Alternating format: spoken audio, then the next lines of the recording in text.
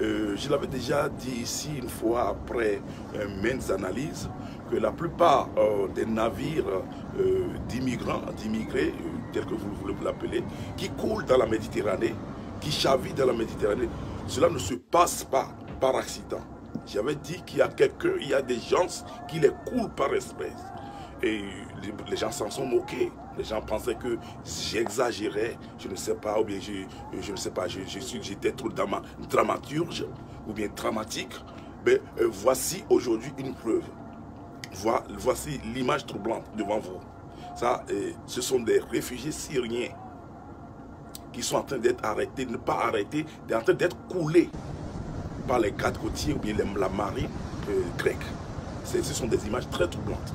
Euh, ce degré de cruauté, je ne sais pas, euh, cela me dépasse. Euh, je n'ai pas les mots pour, pour, le qualifier. Donc, c'est à nous de faire le boulot. Il faut que cette image soit partagée, fasse le tour du monde pour que vraiment cela atteigne le cœur des gens de droit, cela atteigne les gens de droit pour que les gens réagissent. Parce que ça, il on parle de, droits humains, mais ça m'étonne que, euh, je ne sais pas, l'armée, les GATCO, c'est une faction de l'armée avec des, de.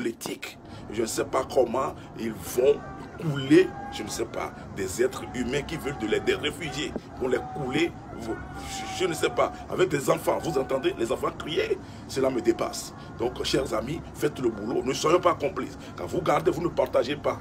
Vous êtes aussi complices. Donc, partagez pour que cela circule. Cela crée vraiment de l'outraille. Sinon, vraiment, euh, les mots me manquent. Portez-vous bien, que Dieu vous bénisse.